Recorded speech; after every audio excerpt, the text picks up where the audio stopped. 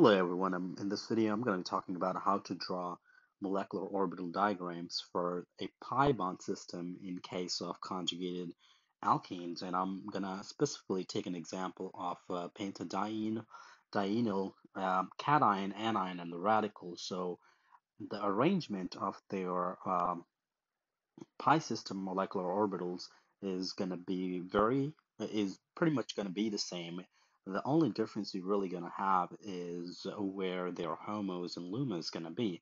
So before we actually talk about those individual ones, uh, let's focus on maybe the cation. So on the left side, I do have this cation here. And the very first thing you really want to do is uh, be able to count how many unhybridized p orbital you have in each case. So on this left one, I have every single carbon here. So every single carbon on this left one is going to be an sp2 hybridized. And uh, as a result, that leaves one of p orbitals to be unhybridized. And that gives me five p orbitals that are going to be unhybridized. All right, and then kind of same story on this uh, anion and even for the radical so every uh, in every single case you're gonna have and a 5p orbital set here that are gonna be an unhybridized and then in addition to that you also want to be able to actually count how many pi electrons you're really going to be having that are going to be conjugated in the whole system so in case of a cation we obviously don't have any electron where the positive charge is, but we do have electrons on those double bonds or on those pi bonds. As a result, this gives me a system of four pi electrons. Right, and in case of an anion, obviously we do have um, a lone pair of electrons, so that's all that's going to be a delocalized lone pair of electron, and that's going to be participating in the resonances. So as a result, it's going to be the part of the conjugation. So that gives me a 6 pi electron system. And in case of a radical, you can say it's going to be in a 5 pi electron system because you only have one electron there that could that's going to be the part of uh, the conjugation with the rest of the system. And now let's start out with having these 5p orbitals kind of arranged in this uh, in this way. So I have drawn those and uh, the bottom line is if I have five atomic orbitals that are um, unhybridized p orbitals, I should be getting a five set of molecular orbitals. And um, how I'm going to be arranging those, that's going to be a different question. And out, of, out of those five, you're going to have some being bonding molecular orbitals, you're going to have some being anti-bonding, and you're going to have some being non-bonding. So let's talk about uh, having those five different set of uh, molecular orbitals there. So you, um, if I want to start out with these different settings, so first of all, just go ahead and draw these five different sets out, and I will worry about how I'm going to be arranging those in a minute. So I'm just going to try to squeeze all of those in one page here. All right, so that should work out fine. Let me just kind of make these a little bit closer to one another.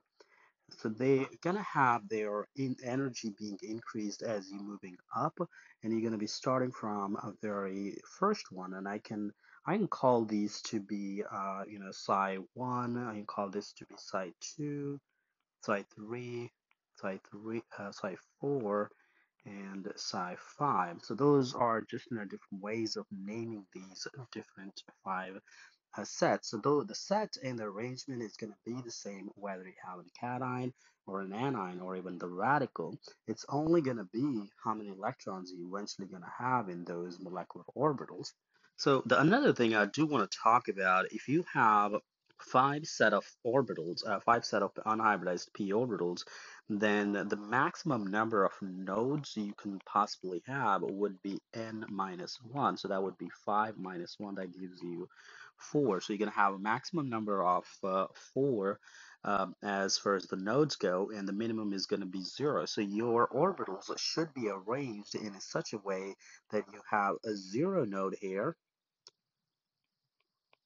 and you're going to have 4 nodes at the end of the day right on the top where you're going to have the last orbital. And uh, I always tell students to kind of uh, draw the first one and the last one because they are going to be the most easiest to recognize, uh, most easiest to draw as well. And then we fill in the gaps uh, when we when it comes down to the the psi two, psi three, and psi four. So let's start out with the first one. When you have zero node, that means all these orbitals are going to be in constructive interference. So another way of saying all these orbitals going to be overlapping with one another in phase. So I can go ahead, I'm going to go ahead and shade these out. So when I'm shading them, I'm going to be making all these orbitals in phase. So they are all arranged in the same time. So we're going to have everyone overlapping, giving no node here. So that's going to be zero node. And when it comes down to the last one, which is going to be the a five, uh, psi five. So we, in order to get four nodes, I should not really have any one of those overlapping with one another. So another way of saying, I could say I would have um, one of them right here, and the next one way out of phase, and then the, right after that, the next one would be out of phase again, and the right after that would be out of phase to the previous one. So another way of saying none of those are really uh, doing any sort of constructive interference, but they're all doing a destructive interference. And uh, when it comes down to counting the nodes, you just kind of see wherever their lobes are oriented opposite to one another. So I can draw a line right there. So that would have been your one node. That's your second node. That's your third node.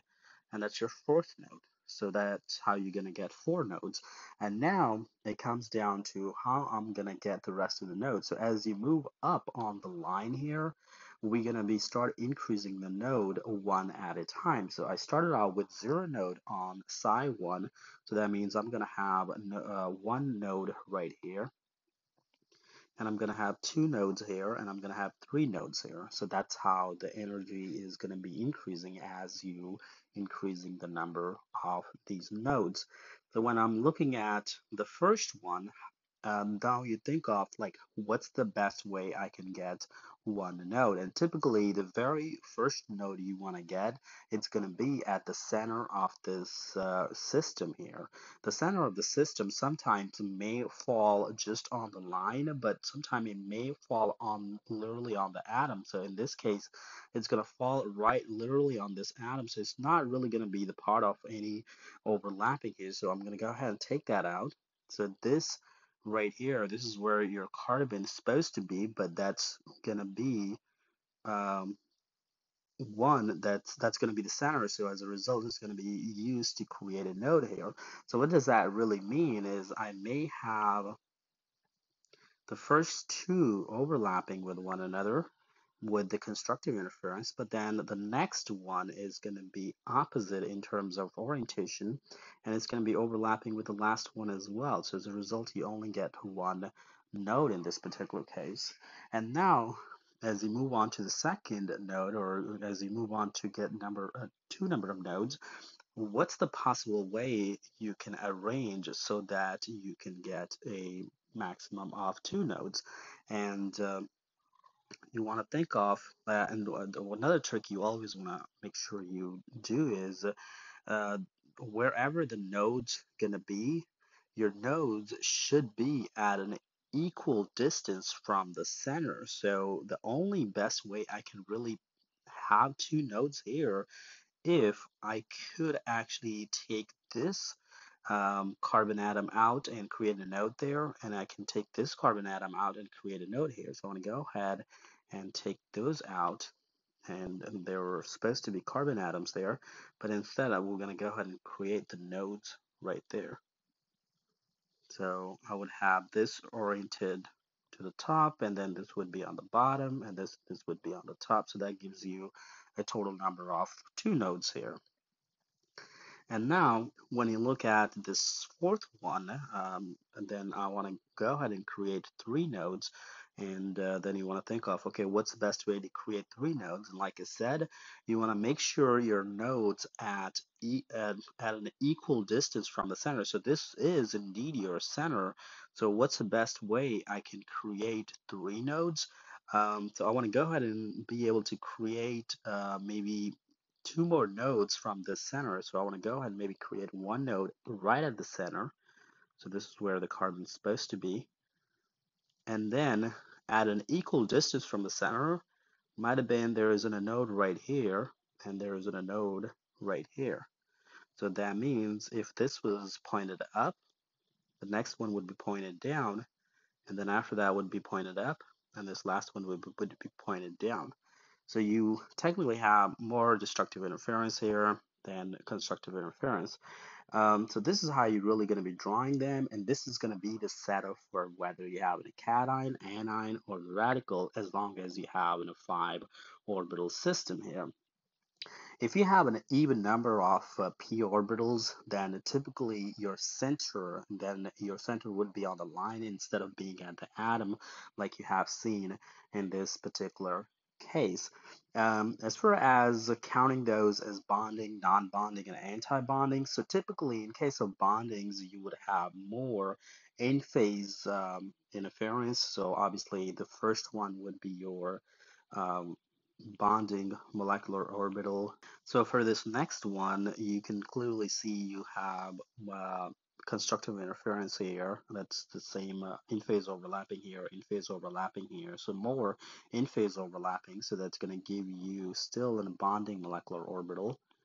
And when you look at the next one, um, there's really not any in-phase overlapping going on. But then at the same time, there's really not any out-of-phase overlapping if you um, think about it because you know obviously there isn't a center here that's you know that's that's a line right at the carbon atom. So going from here to here it's kind of far away to overlap.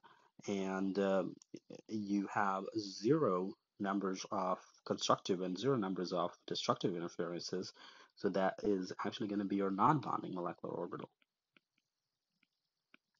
And when you look at this next one here obviously we have uh, more destructive interferences here. We got this and this, that's one of them.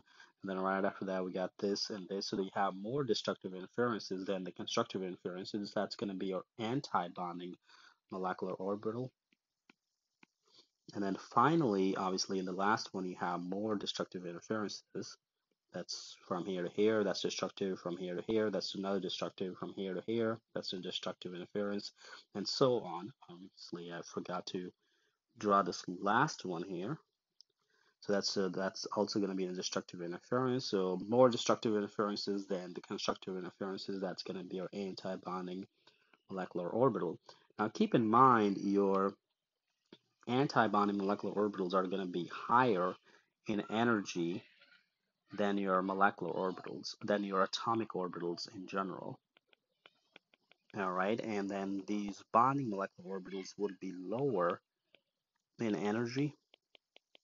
And then this, uh, the non-bonding is going to be at the same energy level as that of uh, atomic orbitals. So that's how you really want to look at them. Now let's go ahead and fill the electrons. So I'm going to go ahead and start from uh, looking at this pi, um, cation. So when I'm looking at the cation, I know I have four electrons. So I'm going to go ahead and write down all four of them here. Five uh, orbitals set here. So since I have only four electrons, I'm going to have two electrons here, and I'm going to have two electrons here. So that's the end of the story. So this uh, electron, uh, this orbital set was the last one. That was psi two that had electrons. So that would have been your HOMO, which means highest occupied molecular orbital. And the right next to that would be your LUMO. So that would be your lowest unoccupied molecular orbital. So that's the thing you really want to have to get out from here. And then if I want to do the same setup on this right side, just going to copy this down onto for the anion and even for the radical.